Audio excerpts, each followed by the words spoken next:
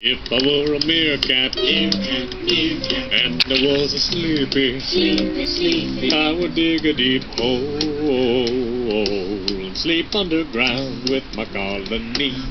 And if I were a meerkat, Meerkat, meerkat, and I was a hungry, hungry, hungry. I'd dig another hole and search for a scorpion or tasty crab. And all of us meerkats, Meerkats, meerkats, a group of social carnivores, carnivores, we'd sit by our holes and soak up the sun, and life would be so grand.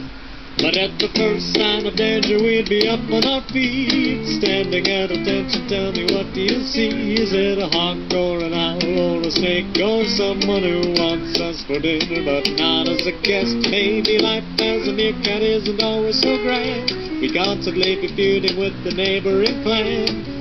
Fighting over territory, making our stand to protect all those tasty crumbs. So since I'm not a meerkat, Meerkat, meerkat, and I'm just a human, human, human. I'll sit at my home and watch Meerkat Manor. Meerkat Manor on TV.